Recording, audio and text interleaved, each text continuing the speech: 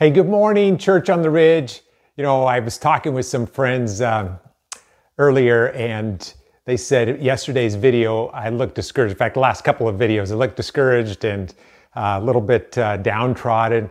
And I'm supposed to be talking about faith. I'm supposed to be raising our faith. I'm supposed to be in a place where I'm trusting God, I'm believing God for great things.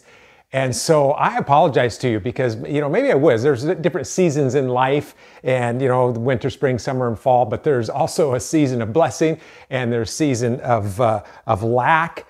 And I think I've been in a season of attack where just, you know, the, the, the work of darkness, the work of the enemy, discouragement, doubt, unbelief, fear comes in and that, you know, that can weigh on you, especially when you're going through things uh, like the death of our, our family member and uh, the challenges of that, uh, that we have and other things, just the church and COVID and all this stuff. Whoa. And so I was reading uh, today and about faith and Ephesians 6. Paul encourages, the Bible t- teaches us, take up the shield of faith and you'll be able to extinguish all the flaming missiles of the enemy, all the darts, all the arrows from the enemy.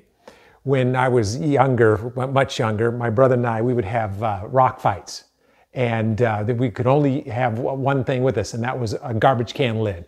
Back then, garbage cans were uh, metal, and they had a lid on a little handle like this. They were round, looked like kind of a shield, a Roman shield. So we'd hold that we get. So we'd stand across the street from each other, and we would be hucking rocks like crazy, just trying to pelt the other person. And as long as you had your shield up, right, you were safe. It was good. You could be waving at your buddy, had your shield up, aren't going to get hurt. And when I read that about Paul, take up your shield of faith. There's this thing that God gives us, this thing called faith, that is this invisible force shield that covers us. And though the enemy wants to send arrows and darts and fear and doubt and discouragement, if you'll have that faith raised up, let him do his worst because God says you will not be hurt. You will not be harmed by that.